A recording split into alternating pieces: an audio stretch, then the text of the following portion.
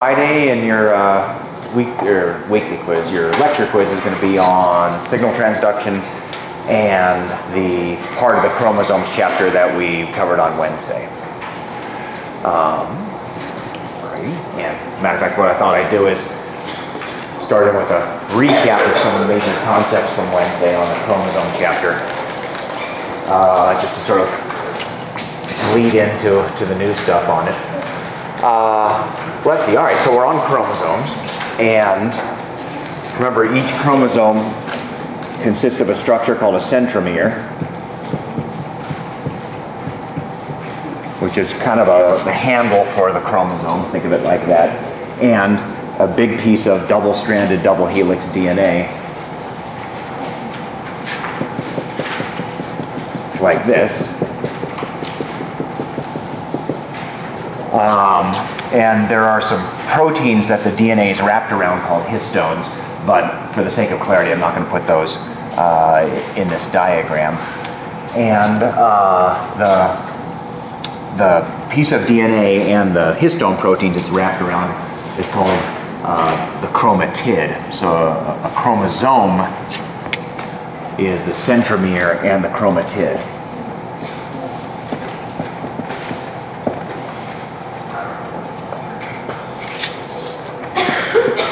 Lot of chromos here to get mixed up, mixed up with each other. Now that I think about it, chromatid, chromosomes, yada yada.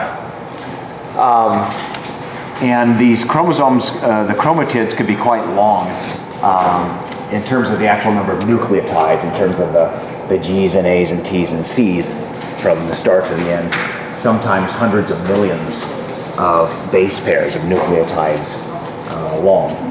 And each chromosome holds hundreds or even thousands of genes. Uh, the, the, genes, the, you know, the segments that encode proteins, are just regions of the chromatid. So this might be a gene for a certain protein here, and maybe here's another gene for another protein, another gene for another protein, there, there, and there, and there. All along the chromatid, uh, you'll find you'll find hundreds or even thousands of genes. So our our grand total, remember, for human beings is around 25,000 genes. And so those are those genes are distributed throughout your uh, 46 chromosomes, which actually now leads me into what I was going to recap here, the chromosome number. Each, uh, here on the digital slide, you see a cell with some chromosomes inside the nucleus. Each species has a characteristic number of chromosomes that you find inside the, the, the, nucleus of its cells, and that's called its chromosome number. For human beings, the chromosome number is 46 chromosomes. And I think I mentioned some other uh, plants and animals and what their chromosome numbers are. This is the only one you have to memorize, but uh, remember gorillas are 48, and dogs are 78, and those pea plants that Gregor Mendel was breeding with each other to, to work out the rules of genetics. Those had 14 chromosomes. Uh, anyway, so that's, that's called the chromosome number. Um, and you can distinguish one chromosome from another in several different ways. Chromosomes have different lengths. Um, and matter of fact, they use the lengths of the chromosomes as a way to number them. Uh, in any species, whichever is the longest chromosome, they refer to as chromosome 1 the second longest chromosome is chromosome 2, then 3 is a little shorter, then 4 is a little shorter than that, all the way down until the shortest chromosomes have the, the largest numbers. In, in all species, they use this scheme. Uh, so length is distinguishing characteristic. Centromere location is the distinguishing characteristic.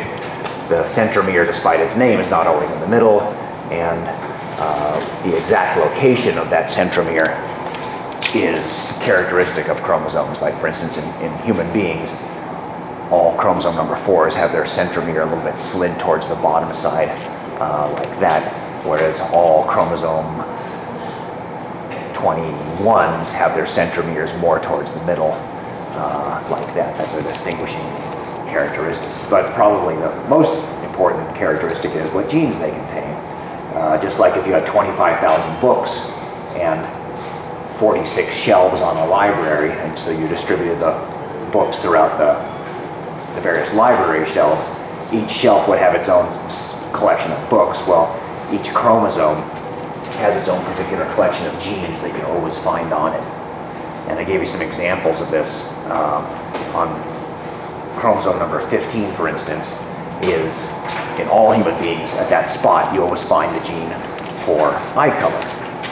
Uh, and there's a term locus. The, the locus of a gene means its specific location on one specific chromosome. So that, that spot you see there for the eye color gene is the locus of the eye color gene.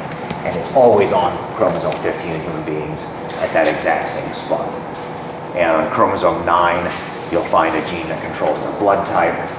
And on chromosome 11 is the gene for insulin hormone, which is a protein. And on chromosome 17 is a gene for growth hormone, which is a, another uh, protein hormone. Louis, you had a question? Yes. um, on number fifteen, that's where they find the eye color. Well, um, how do you manipulate that to, to dictate what color the child has when they're born? Um, let me let me answer that when we get to the Mendelian genetics chapter, because they, they, they go into quite a bit of length, uh, depth about how that operates. So let me let me answer that then. That's good. Another one, like, if, so you get two different colors from, from a parent, from your parent, right? Yes. So you, if the kid doesn't, ha, has only uh, like four choices of color, right? Well, In their genes, or, but since we can manipulate them, so does that mean they have an infinite amount of choices to pick from? no. Well, when they refer to eye color here, at least in these genetics chapters, it's kind of a simplified model of eye color. But when they refer to eye color in, in these chapters, they mean either brown colored eyes or non-brown colored eyes. And so in, in that context, there's only two eye colors. And what if you have non-brown eyes, what controls whether you have blue or green or gray? I'm not exactly sure. I'm, I'm sure it's also related to genes, but it's probably some other gene. Um, but uh, again, let me let me forestall your question until we get to the chapter on Mendelian genetics. They, they, they answer it. They'll answer it then. Uh, anyhow, so each chromosome holds hundreds or sometimes even thousands of genes, and you always find those same genes at those exact spots on that exact chromosome. Alrighty, let's see now. Um, so human beings have 46 chromosomes, but to be a little bit more accurate in this description, we actually have two sets of 23.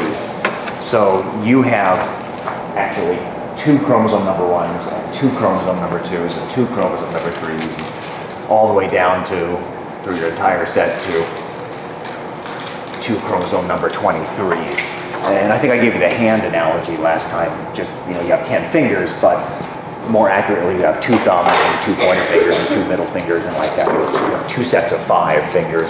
You have two sets of 23 chromosomes. Uh, and these are called homologous pairs of chromosomes. There's your homologous pair of chromosome number ones and a homologous pair of chromosome number twos, uh, et cetera, et cetera. And the reason why you have two sets of 23 is because you have two parents.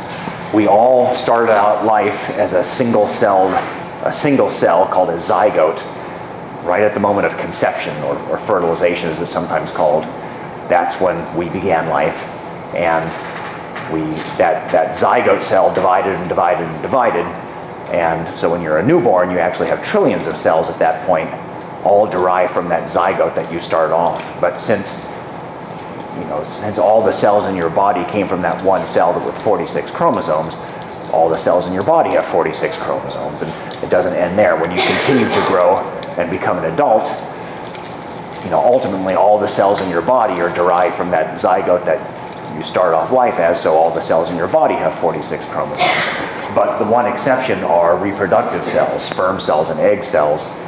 Each sperm and egg cell only has one set of 23, like you see there and you see there. And that's how you got your, your homologous pairs. If, this, if these are the chromosome ones right here, you got one chromosome one from dad, and you got one chromosome one from mom. And if these are the chromosome twos right here, you got one chromosome number two from mom and one chromosome two from dad. And these are the chromosome threes, you got one of those from dad and one of those from mom. So you get one set of 23 from each parent, and that gives you your two sets of 23, or your 46 chromosomes.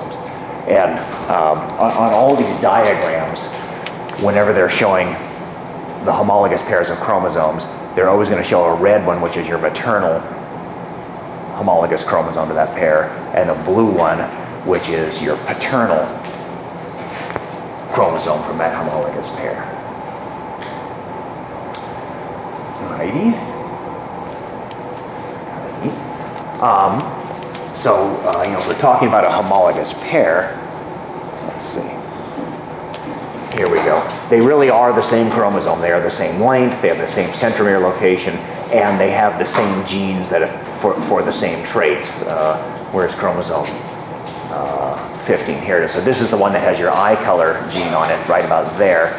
And so you know, you find the eye color gene on that locus on your maternal chromosome 15 and the eye color gene at that locus on your paternal chromosome uh, 15. They're got, got the same genes at the same locations. They are homologous pairs of chromosomes. Okay, um, now, so creatures like human beings, or, or maybe I should phrase this in a slightly different way. Um, anytime you have a situation like this, where you have two of every chromosome, one, one in, of those chromosomes inherited from your mom and one from your dad. So if you have two sets of chromosomes, they use the word diploid, or they sometimes write it 2n, where n equals one set of chromosome, meaning you have two sets of chromosomes. And so you can use this word to refer to a cell that has two sets of chromosomes, or to an entire organism whose cells are, are each have uh, two sets of chromosomes a cell or organism that has two sets of chromosomes where it got one set uh, from each parent. And this emphasizes the fact that for diploid organisms like ourselves, you have a pair of each chromosome, and therefore that means you have a pair of each gene. You have two genes for eye color, one you inherited from your mom, one you inherited from your dad. You have two genes for blood type, uh, where's chromosome 9, one that you inherited from mom, one you inherited from dad you have two genes for insulin hormone, one you got from mom, one you got from dad. You have, you have two of each of your 25,000 genes. There we go, one from mom and one from dad. Okay, now, um, so all your cells are diploid cells with the exception of your reproductive cells, which are only have one set of chromosomes. And there's a term for that type of cell or that type of organism It's called haploid, which is sometimes just written N um, to indicate that it's a cell or an organism that only has one of each chromosome, so only one, one set of chromosomes. In, um, members of the animal kingdom, including, including ourselves, the only haploid cells you find in your entire body are your reproductive cells, uh, and those have to be haploid so that when you make babies, the, uh, the next generation will start off with the right number of chromosomes, the, the 46 number. You know, imagine if our sperm and eggs were not haploid, what, how many chromosomes would the next generation start off with? You know, too many, but if, if the sperm and the egg each had 46 chromosomes, the diploid number, then what would that be, 92? The next generation would have 92 chromosomes, which is just not the right chromosome number uh, for human beings. Oh, just incidentally, that's why you have traits from both your mom and your, and your dad, because you get chromosomes from both your mom and your dad. Okay, so haploid organisms or haploid cells are ones that only have uh, one of each chromosome. So in other words, they only have uh, one of each gene. Now, um, so as I said, in human beings, that would just be your, your reproductive cells. In, in most members of the animal kingdom, that just means only the reproductive cells are haploid. But there are some organisms who, whose entire bodies, you might say, are just haploid cells. And these tend to be microscopic primitive organisms. And the best example of that is uh, bacteria. There we go. Remember, bacteria actually, now that I think about it, all prokaryotes, bacteria and archaea, uh, are haploid organisms. They only have one chromosome. Who remembers what's odd about the chromosome of prokaryotes? There's something strange about its structure. Circular, yeah. It doesn't, they're not really, they don't really show it well here, but if you unravel this thing, it's like shaped like a hula hoop. Uh, but anyway, the point I'm making now is that prokaryotes only have one chromosome, so they only have one of each gene, and therefore they are haploid organisms. And um, there are actually some eukaryotic organisms which are haploid also. This shows some bread mold, and which is a eukaryote. Uh, molds are, are relatives of the fungus, which, which are eukaryotes. But if you were to look at uh, the cells of this mold under a microscope, uh, you would see that they are haploid. I'm not sure how many chromosomes they have, but they only have one set of chromosomes, whatever their chromosome uh, number is. Um, but as a general rule of thumb, haploid organisms are usually very primitive, very small, typically single cellular organisms. Pretty much anything, any organism that, that's big enough for you to see with your naked eye is going to be a diploid organism. So certainly human beings, dogs, cats, goldfish, uh, most insects, and even the plants that are big enough for you to see, trees and flowering plants and weeds and shrubs and bushes, those are all going to be diploid organisms also. So eh, like I said, it's a general rule, rule. If it's big enough to see, it, probably diploid, and if it's small, microscopic, it, it's, it's probably